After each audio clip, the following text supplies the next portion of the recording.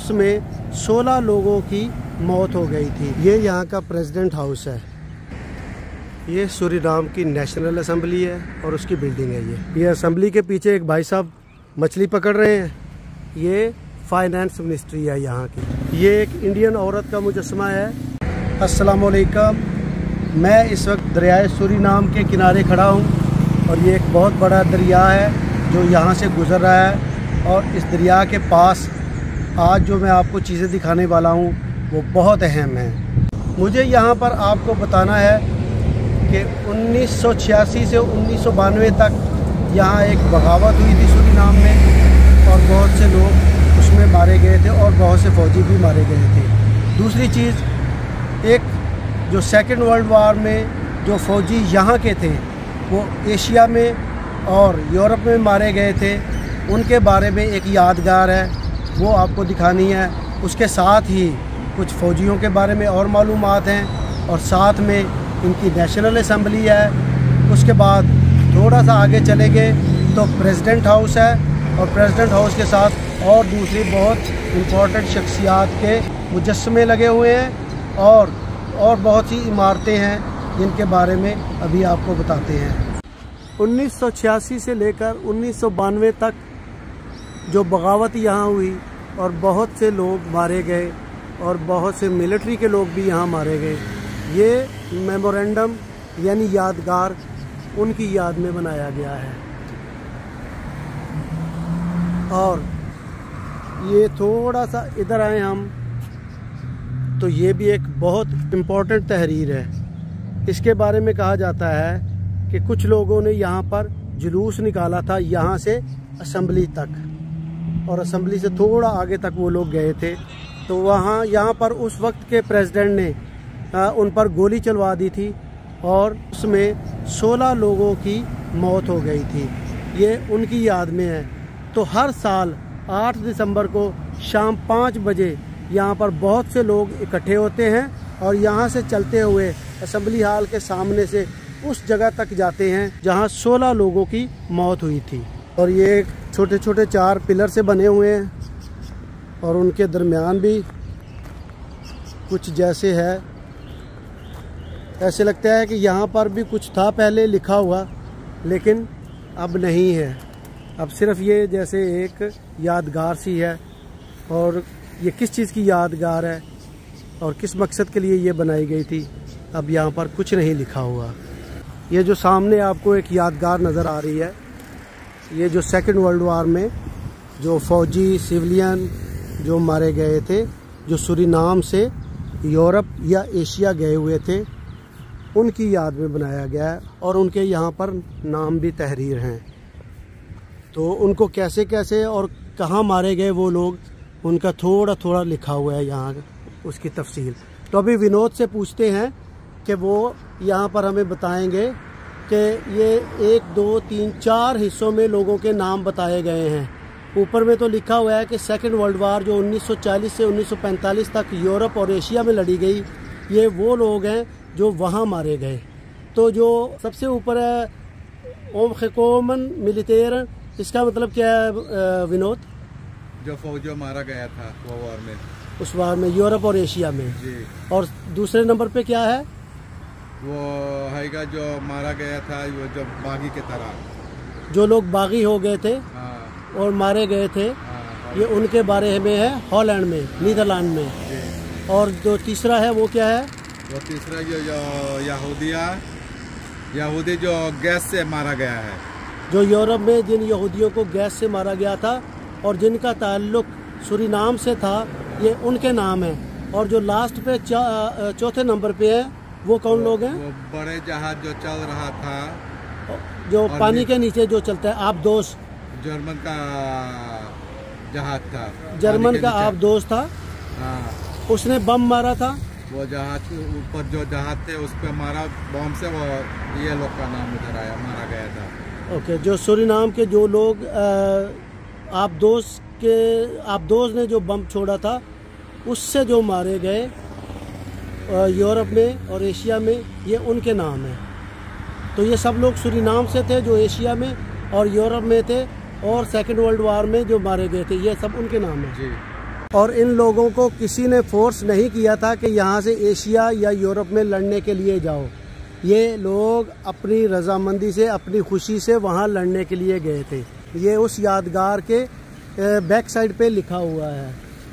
तो थोड़ा सा एक और इंटरेस्टिंग बात जो इससे थोड़ा हटके है, वो यहाँ पर है। ये एक दिल बना हुआ है और ये दरियाए सुरी नाम के किनारे ये दिल बना हुआ है। और अगर आप देखें तो इसको कई सौ ताले लगे हुए हैं। और इन तालों का मतलब ये है कि जो लोग मोहब्बत में कामयाब होना चाहते हैं, वो यहाँ आके ताला लगा जाते हैं। तो वो समझते हैं कि उसके बाद वो अपनी मोहब्बत में कामयाब हो जाएँगे। किसी का यकीन हो सकता है, किसी का नहीं। अब थोड़ा सा हम आगे जा रहे हैं। ये जो पीछे एक ब्राउन शीशों वाली बिल्डिंग देख रहे हैं, ये यहाँ की नेशनल असम्बली है। मैं सामने से भी आपको जाके दिखाता हूँ। और उसके पीछे ये कुछ फौजियों की यादगार बनी हुई है, जो उस वक्त सेकेंड वर्ल्ड वार में साउथ कोरिया में जाकर लड़े थे। ये उनकी याद में ये मेमोरी बनाई गई है। तो इसको थोड़ा ये इन्होंने चाइनीज़ या कोरियन में लिखा है, और साथ में ये नदरलैंड्स में भी लिखा है, यानी डच में भी है। तो इसका मतलब ये वो लोग हैं जो कोरिया में जाकर लड़े थे। ये असम्बली के पीछे एक भाई साहब मछली पकड़ रहे हैं। और ये देखें जी उन्होंने एक बहुत ज़बरदस्त मछली पकड़ी है। छोटी सी है लेकिन बहुत अच्छी है। आपका नाम क्या है? हारून।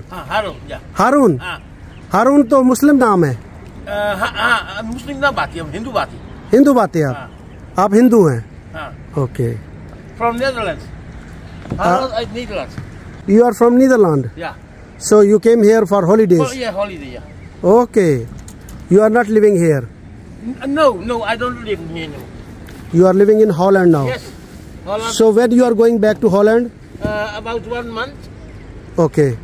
You have a home here also? No, no, no, no, no. I don't have home. Okay Okay. No. वो अब कांटे से मछली को बाहर जो है उसका कुंडी निकाल रहे हैं इस मछली का नाम खरात फ़िश है। ओके। कितना मछली पकड़ा है आज आपने?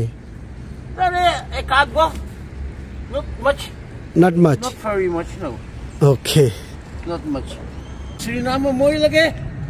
भैया जी। बहुत अच्छा है हमको बहुत अच्छा लगा। इस मोई। हेल खुद। एक बैन हेल ब्लैक दारू में कम हीर इस वाल थैंक वाल वेलकम दाकीवाल ये आदमी मुझे कह रहा है कि आपको अच्छा लगता है सूरी नाम। मैंने कहा जी बहुत अच्छा लगा है कहता है। वो बहुत खुश हुआ ये सुनकर और वो बहुत वेलकम करता है मुझे यहाँ पर। तो फौजियों की इस यादगार से थोड़ा सा लेफ़्ट की तरफ़ चलते हैं और आपको दिखाते हैं यहाँ की नेशनल असम्बली ये बिल्डिंग नेशनल असम्बली की है लेकिन मैं आपको सामने से दिखाना चाहता हूँ। ये सूरी राम की नेशनल असम्बली है और उसकी बिल्डिंग है ये। सब मिनिस्टर वगैरह यहाँ बैठते हैं। ये सुरीनाम का फ्लैग है। और इसके बिल्कुल सामने अगर देखें तो बहुत सारे झंडे लगे हुए हैं, जो कि मुख्तलिफ़ ममालक के हैं। इसमें South Korea, America, Brazil, India और बहुत से ममालक के झंडे यहाँ पर लगे हुए हैं।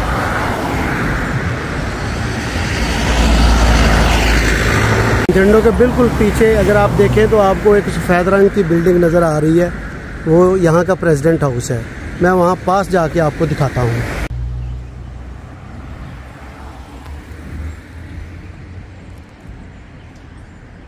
ये यहाँ का प्रेसिडेंट हाउस है। क्या आप सोच सकते हैं कि इंडिया या पाकिस्तान में कोई चंद मीटर के फासले पर प्रेसिडेंट हाउस के पास पहुँच सकता है? यहाँ कोई ऐसा मसला नहीं है। मैं दो मीटर के फासले पर था नेशनल असम्बली और यहाँ बीस मीटर के फासले पर मैं प्रेसिडेंट हाउस से हूँ। और आप देख सकते हैं ये यहाँ का प्रेसिडेंट हाउस है। और कोई इसमें कोई सिक्योरिटी का देखें, शायद कहीं कोई हो बैठा हुआ है, लेकिन मुझे तो कुछ नज़र नहीं आ रहा है। तो पाकिस्तान और इंडिया में कई कई सौ मीटर तक ये एरियाज़ रेड जोन में आते हैं। आप वहाँ पर बिल्कुल कई सौ मीटर तक उनके नज़दीक भी नहीं जा सकते। वहीं से आप दूर दूर से देख सकते हैं। तो यहाँ पर ऐसा कुछ नहीं है, बिल्कुल ये सेफ़ है, बहुत अच्छा मुल्क है। और प्रेसिडेंट हाउस के पास बहुत सारी मिनिस्ट्रीज़ की बिल्डिंग्स भी हैं, वो भी आपको दिखाते हैं। और ये जो सारी इमारतें हैं, ये बहुत तारीख़ी इमारतें हैं।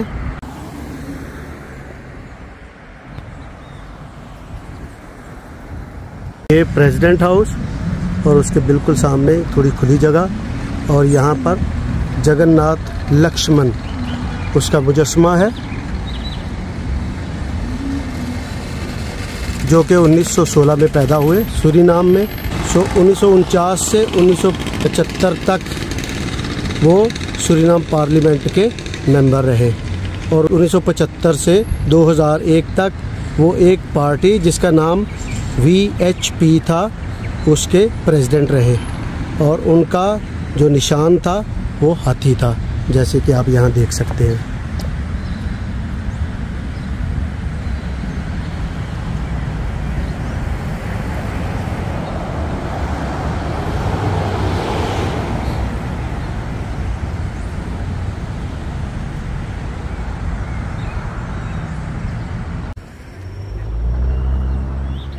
वो प्रेसिडेंट हाउस है, और अगर आप यहाँ आए तो ये एक मुजस्मा लगा हुआ है, जो कि यहाँ के वाइस प्रेसिडेंट थे उन्नीस से लेकर उन्नीस सौ उनहत्तर तक। इनका नाम था यूहान एडोल्फ पेंगाल। और इन्हीं के नाम पर यहाँ पारामारिबो का एयरपोर्ट भी है। और इसके पीछे ये जो आपको क्लॉक टावर वाली एक बिल्डिंग नज़र आ रही है, ये फाइनेंस मिनिस्ट्री है यहाँ की। ऊपर क्लॉक और नीचे ये ब्राउन और वाइट पिलर्स वाली बिल्डिंग जो है, ये फाइनेंस मिनिस्ट्री है। और इस तरफ़ ये, यहाँ के वाइस प्रेसिडेंट जो कि उन्नीस से उन्नीस सौ उनहत्तर तक थे, उनका मुजस्मा है। ये फाइनेंस मिनिस्ट्री की बिल्डिंग और साथ ही ये, यहाँ की हाई कोर्ट है। होफ फन युस्तुसी युस्तुसी का मतलब होता है जस्टिस और ये यहाँ की हाई कोर्ट है। और थोड़ा आगे चलते हैं। ये वजारत इंसाफ और पुलिस की बिल्डिंग है। ये कुछ अर्सा पहले जल गई थी, यहाँ आग लग गई थी। तो उसकी जगह पे अब उसके साथ एक नई इमारत बन रही है। ये हम हाई कोर्ट की बिल्डिंग के साथ साथ इसके पीछे आ गए हैं।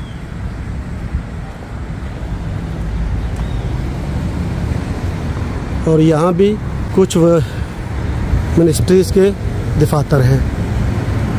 ये हाई कोर्ट की बिल्डिंग के पीछे एक और इमारत है और ये इमारत है हिस्ट्री ऑफ़ नेचुरल रिसोर्स इसको यूँ ट्रांसलेट कर सकते हैं आप। ये कुदरती वसाइल की वजारत है। ये यहाँ के सुप्रीम कोर्ट के जज का मुजस्मा है, जिसका नाम था मिरांदा। और जिस गली में हम खड़े हैं, इस गली का नाम भी मिरांदा स्ट्रीट है। और ये इसी के नाम पर इस गली का नाम रखा गया है। वो जो हमने आपको नेशनल असम्बली दिखाई है, वो अभी चल रही है। लेकिन कुछ अरसे के बाद वो असम्बली वहाँ से ख़त्म कर दी जाएगी, बंद कर दी जाएगी। उसकी जगह ये नई बिल्डिंग बनी है असम्बली के लिए। आइंदा जो भी असम्बली के सेशंस हुआ करेंगे, वो इस बिल्डिंग में हुआ करेंगे।